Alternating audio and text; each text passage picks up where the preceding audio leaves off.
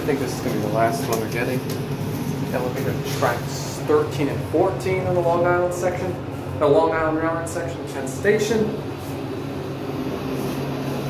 Yeah, I mean, it just looks the same as the previous three elevators.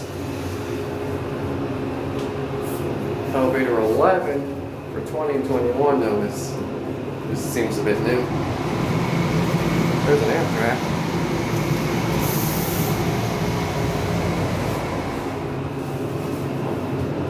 There's, there's a Long Island Railroad on that side.